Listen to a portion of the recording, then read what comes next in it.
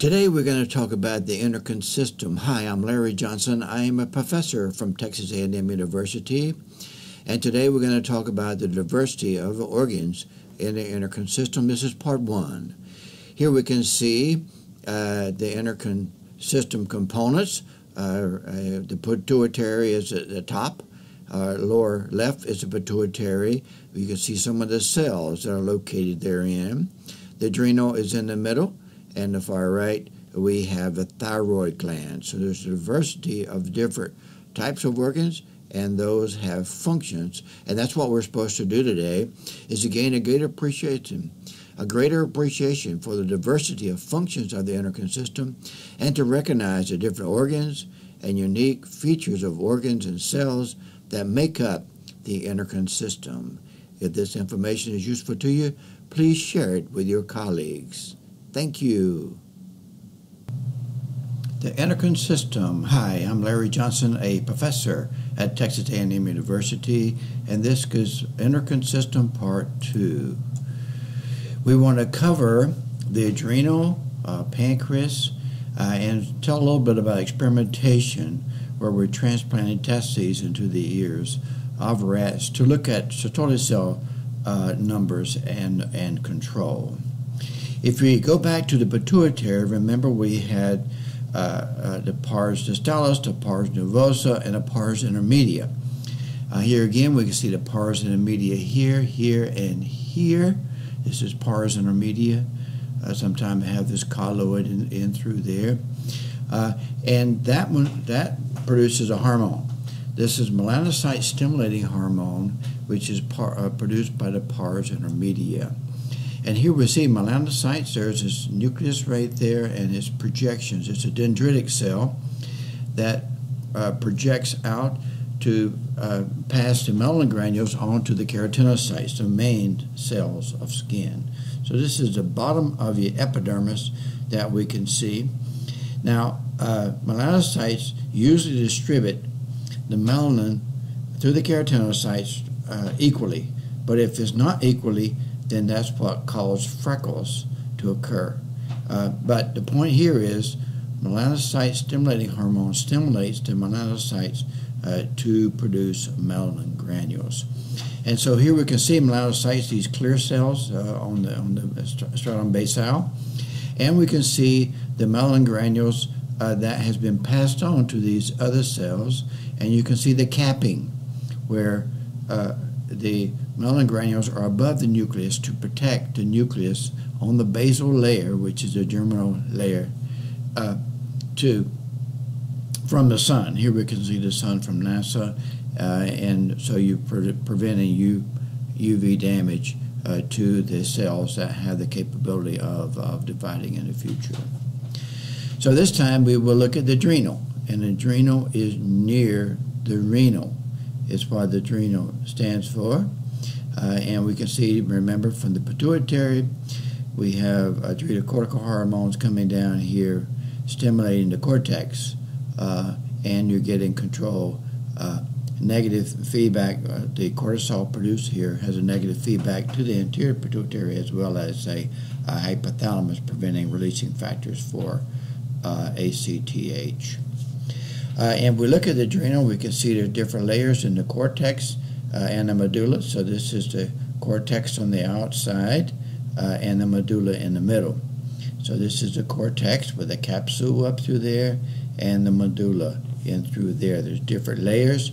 You have the stratum uh, glomerulosa, looks kind of like a glomerulus, a stratum fasciculata, uh, stratum reticularis, uh, and then finally you've got the the, the medulla, the cells of the medulla. So you can see these different layers here, uh, and the medulla, the chromaffin cells have a funny type of staining to them.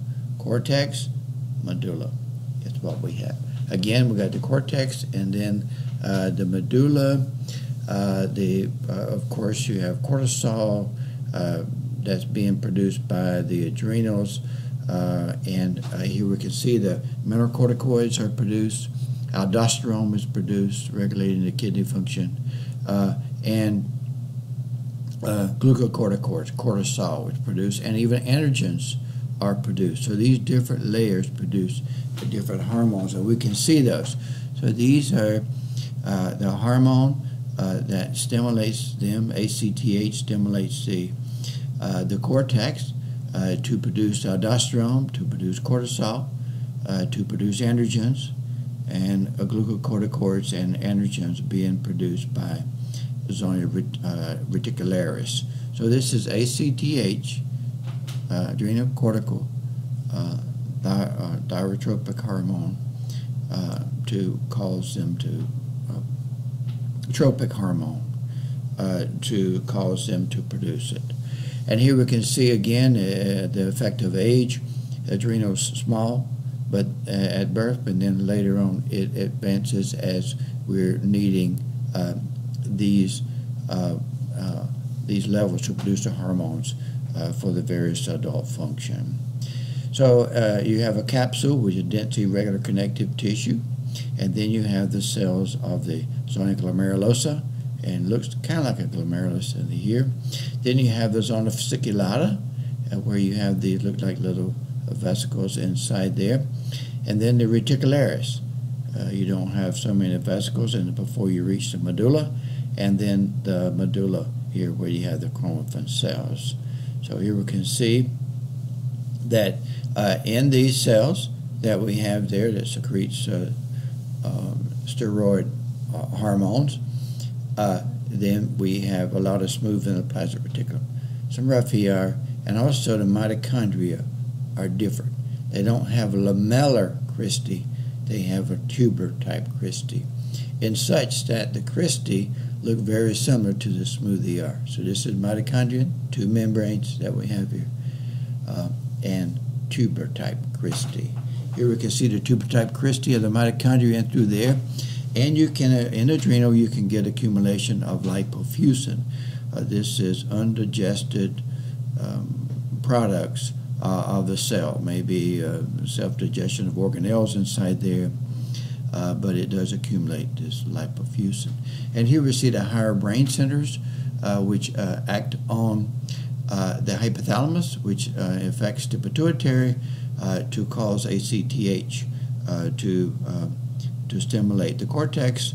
Cortisol has a peripheral effects, also cortisol feeds back on these different layers. Even the limbic system, the limbus system is in a deep brain structures, uh, common in mammals involved in smelling, emotion, uh, motivation, behavior, and these things, and they influence uh, ACTH through their influence of the hypothalamus and the pituitary and the ACTH. So if we look at uh, the uh, adrenal function and blood pressure regulation, uh, you can see the kidney produces renin. And the renin causes out uh, angiotensin 1, to go to angiotensin 2, uh, and then uh, that causes the adrenal medulla, the adrenal cortex, the adrenal cortex, uh, to secrete aldosterone, and this is the glomerulosa. And so that stimulates the distal tubule of the kidney to reabsorb sodium and water, and this increases the uh, extravascular fluid, and that increases blood pressure. So this is a slow but sustained effect on uh, increase in blood pressure. Now, in contrast, a quick effect of blood pressure is by the vasoconstriction of angiotensin 2. So, as the renin comes in through here and produces angiotensin 2, which causes vasoconstriction. So, this is a quick way, uh, but uh, through the adrenal is a more sustained way. So, uh, aldosterone secreted stimulates uh, sodium reabsorption in the distal tubule, uh, we mentioned, also in the gastromucosa, that's in the stomach, or the salivary glands, uh, uh, which uh, uh the salivary glands pumps the sodium out uh, to uh, produce a hypotonic solution, and then sweat glands. So where you deal with salt, those cells, there are cells in those organs that facilitate sodium reabsorption when aldosterone there. Cortisol is anti-inflammatory effects. So if you have a swelling with a bee or something, put the cortisol on it, it causes it to go down. It stimulates lysosomal membranes, prevent the cell dying in the case of uh, stabilizing membranes, uh, causes uh, uh, atrophy of lymphoidal tissue. and so you don't want to take cortisol if you have some kind of immune disease, for example, or exposed, are going to be exposed to, to things then decrease the uh, number of circulating lymphocytes. So these have a dampening effect on the immune system. Now we talk about release of neurons where uh, the neurons uh, synapse with particular cells and that's what happens in the adrenal medulla. In contrast, the indirect way is the endocrine system by which uh, you have nerve cells uh, dumping in the, in the hypothalamus, which goes to the pituitary, ACTH gets to the bloodstream and comes and causes cortisol. So this is indirect versus direct ways, and both of those are present uh, uh, in the uh, in the in the uh, adrenal. And so, as we said again, the different portions of hormones that are produced, in the case in the medulla, epinephrine and norepinephrine is produced. So whenever we're riding uh, these uh, roller coasters, it feels like we're going to fall, and we cause uh, epinephrine to be released, and those effects on the body, even though uh, largely you are safe in a roller coaster. So there's different hormones that are produced um, uh, in the medulla and in the cortex, uh, which are involved in various physiologic functions that to occur. And in the medulla, you get epinephrine, uh, which affects skeletal muscle, cardiac muscle, uh, and metabolizing of cardiac fats. So in the medulla, we can see the grains are stored inside. So this is the cortex, capsule, cortex, and medulla with a central vein for things to go out. And this is the chromaffin cells in the medulla. The central vein is where fluid comes out. So blood comes in through there circulates through these sinuses and then ultimately exits uh, the central vein. So here again, we can see where blood comes in, percolates down through there, and ultimately goes out uh, in the medulla, the central vein, which is covered, surrounded by the chromaffin cells. Again, we can see the cortex and medulla, uh, the cortex with the different zones that occur.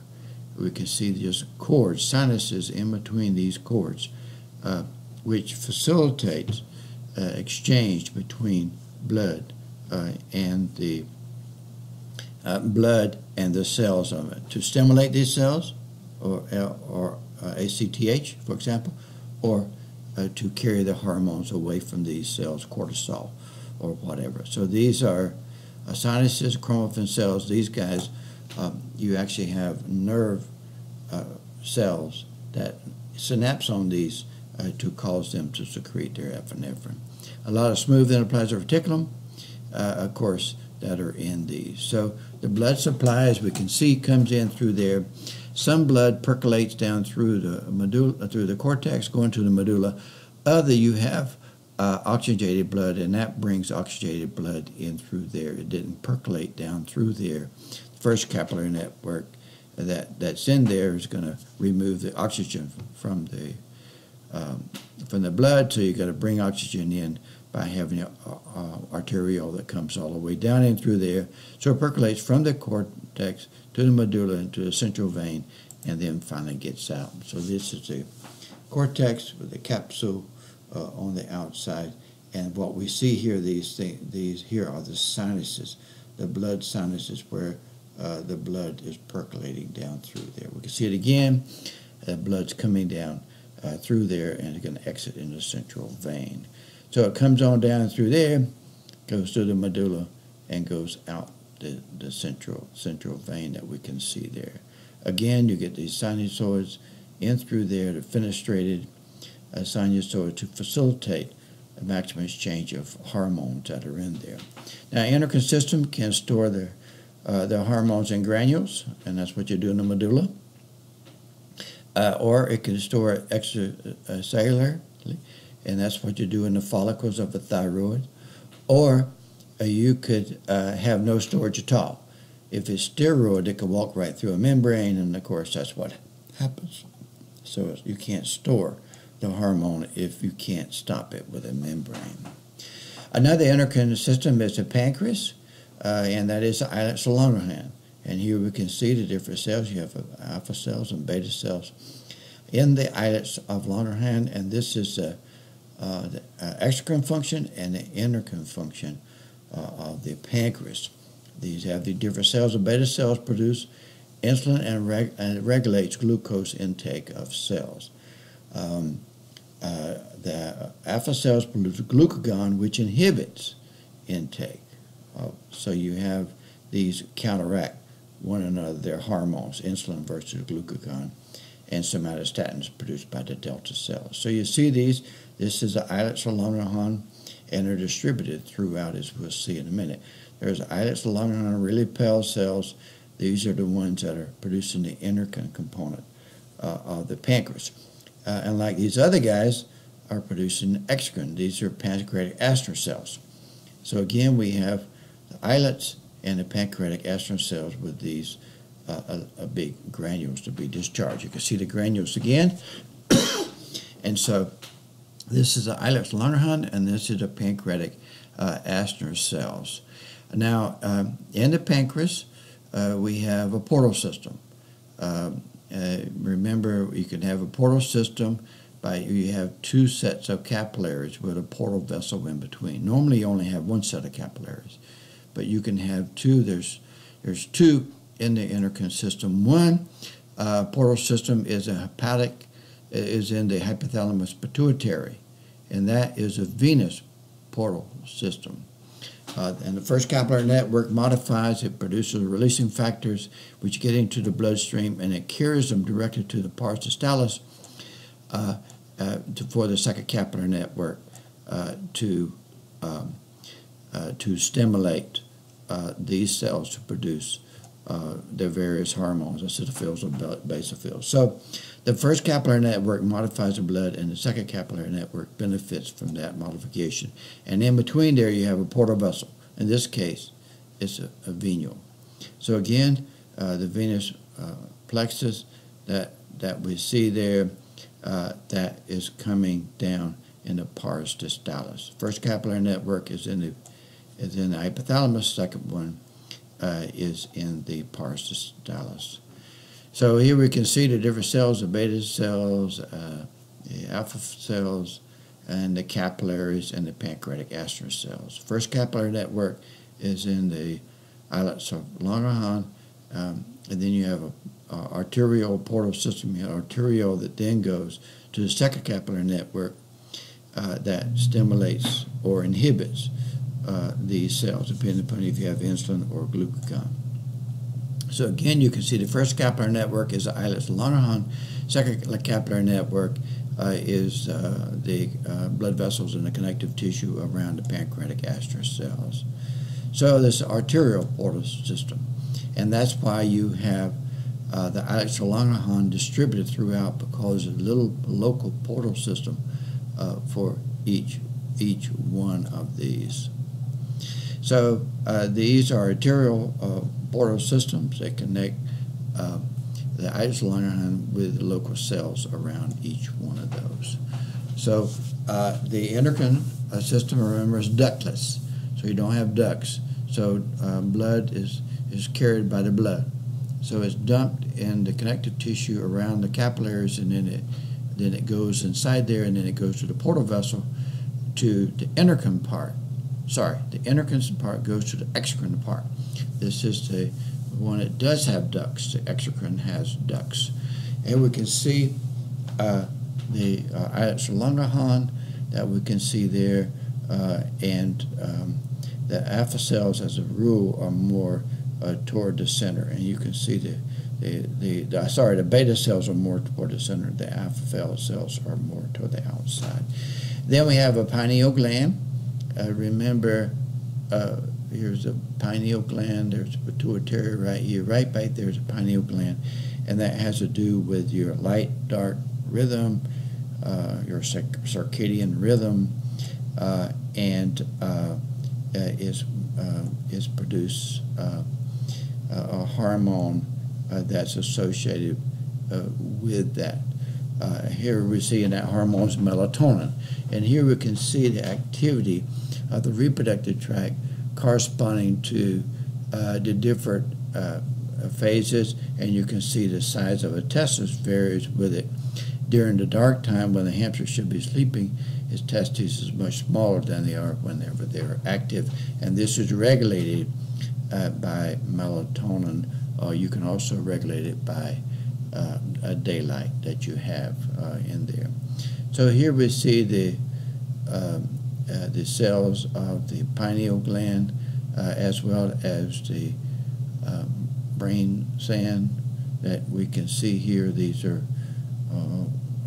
really rigid precipitants that are located in through there, and there's connective tissue around it. Another organ uh, is the testis, and here we can see the, the seminiferous tubules that produce uh, the sperm, uh, and then here we can see the Leydig cells. Leydig cells in through there that produce testosterone, and then we can see the blood vessels uh, between the two. Uh, you have Leydig cells distributed throughout the testis because it helps maintain a high concentration of testosterone in the vicinity of the developing cell. So these are Leydig cells, these are germ cells producing seminiferous tubules. Leydig cells have the abundance of smooth endoplasmic reticulum because they produce um, testosterone uh, and also the, mitochondria are tubular uh, cristae. A tubular cristae, mitochondria, lots of smooth endoplasmic reticulum. Another organ uh, in the female is the ovary, and the ovary produces estrogen uh, that we can see there, uh, and that is responsive to the pituitary.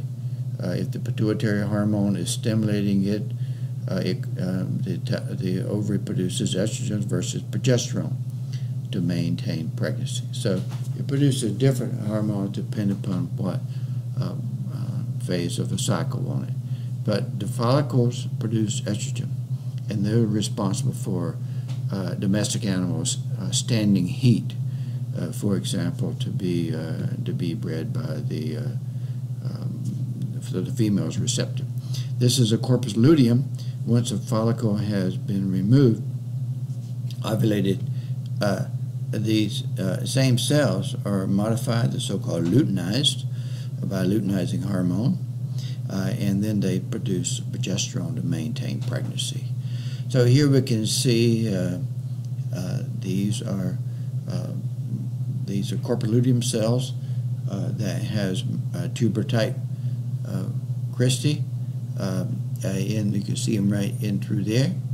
There are also calcium deposits in mitochondria as well, and lots of smooth endoplasmic reticulum. So in summary, the function of the endocrine system uh, is a system that produces hormones that is carried in the blood. So it's an indirect uh, connectivity between cells located in one place and another one, and their uh, cells are responsive to um, to those hormones uh, in a unique way in that they have receptors for certain hormones, but not receptors for uh, other uh, other hormones. And part of the regulations is regulating the amount of receptors that a cell uh, can have. So it does a lot of things, your mood, um, uh, uh, sexual function, reproduction, development, growth. And so here we can see uh, there's a host of hormones uh, where what's the source of them, target cells, uh, and the actions. Likewise, other hormones are produced, so there's nine hormones produced by the pituitary. melatonin, is produced by the pineal, as we mentioned to you. Thyroglobulin is produced by cells of a thyroid, and that's broken down to T3 and T4. Calcitonin is produced by the parafollicular cells. Glucagon by alpha cells. Insulin by beta cells. And remember, we were talking about the first experiment conducted was uh, by transplanting testes uh, into the abdominal cavity of castrated roosters. If you castrated rooster, his comb and wattle growth looks like a hen. Uh, but if you have testosterone inside that rooster, uh, by the testes you're transplanted into there, uh, then it would help maintain secondary sex characteristics of the first study. And here's a study where we were putting testes into rat, uh, rats' ears to look at Sertoli cell populations. So that's what we're going to do is talk about different things. And this is a little presentation I gave in France a while back. But since I was talking in English and not in French, I felt like this horse who found himself in a trough uh, by I felt uh, out of control or not in total control uh, because I wasn't speaking French.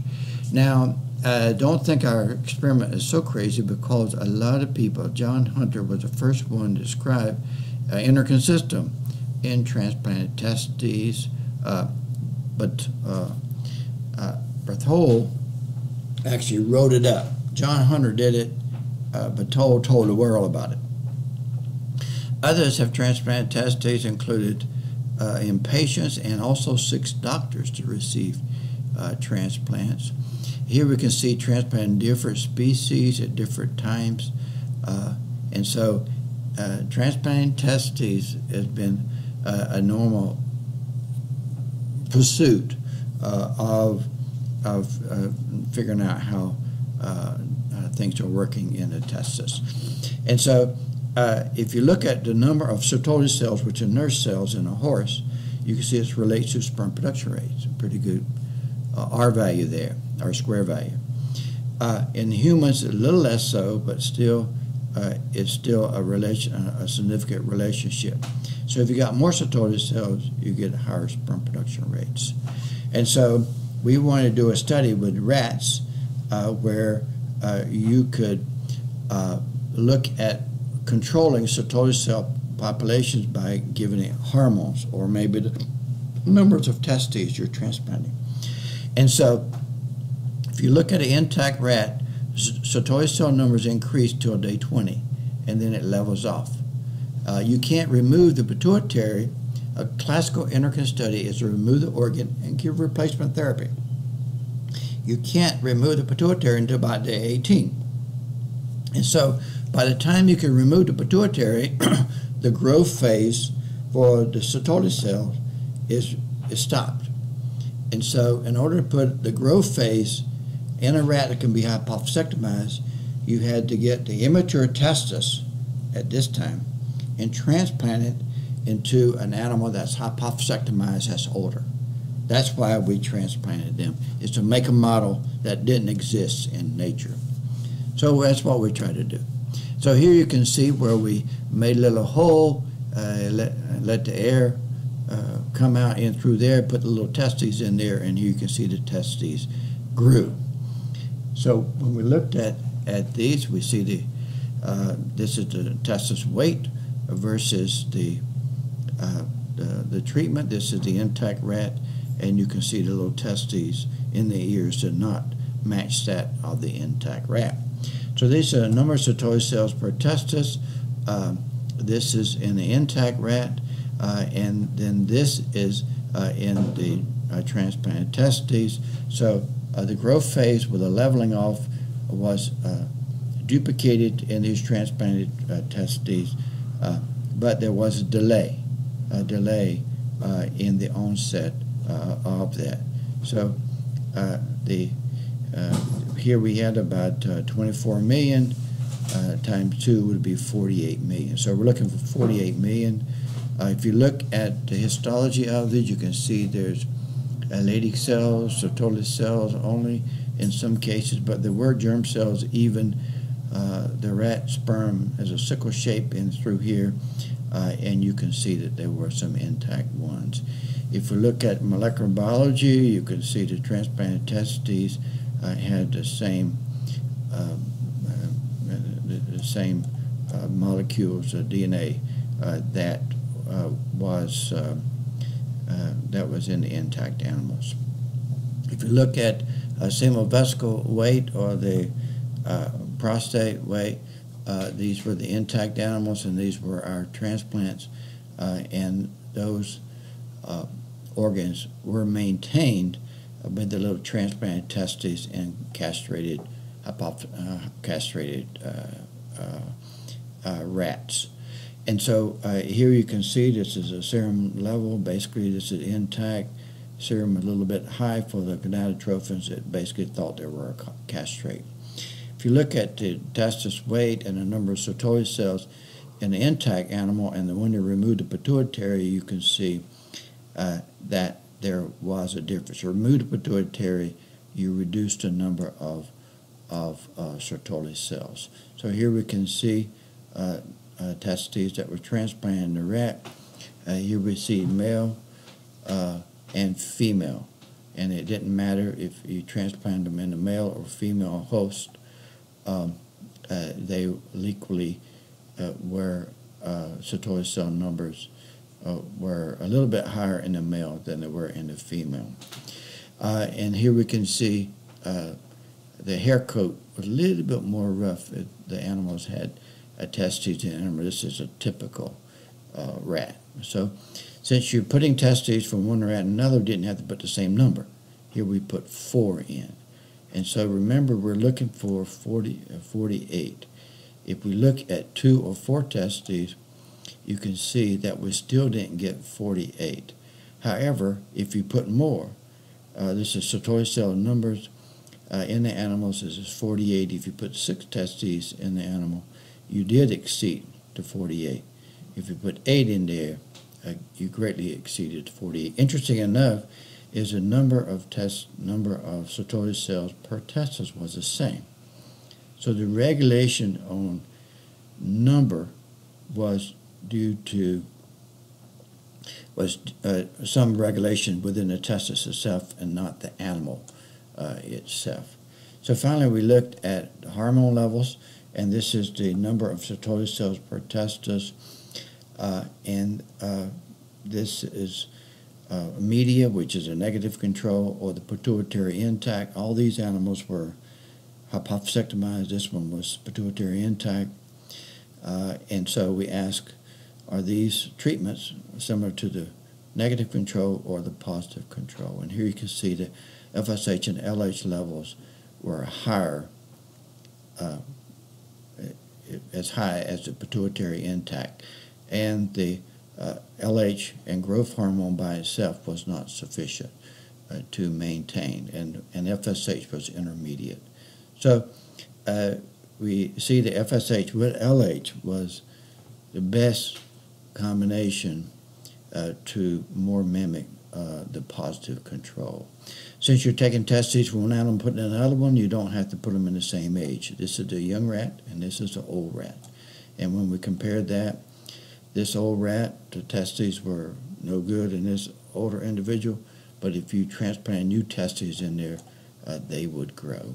So we looked at physiologic levels of different things, really minute in steroid and, and especially peptide uh, hormones, and you can see the effect of the endocrine system on itself. Here's estrogen and testosterone. They look very similar, but what a difference uh, that, that it makes. Here's uh, Jefferson Memorial in Washington, D.C.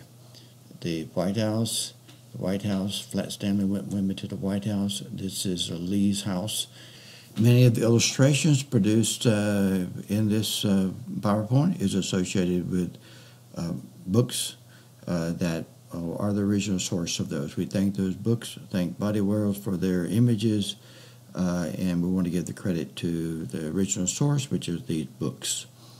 Thank you.